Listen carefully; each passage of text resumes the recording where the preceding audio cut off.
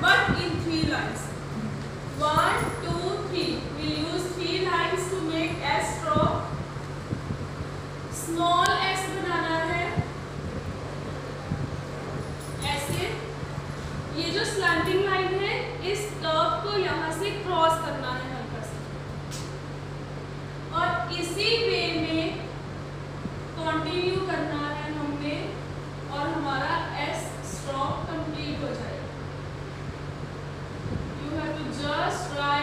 small s in three lines.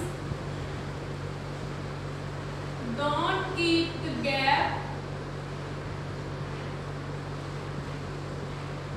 Continue with the same pattern. So this is our S stroke. I am writing again.